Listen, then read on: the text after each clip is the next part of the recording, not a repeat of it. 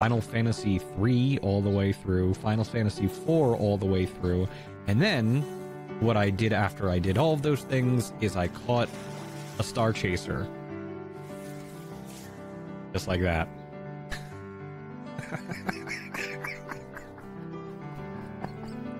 it's a 5.7% of the time.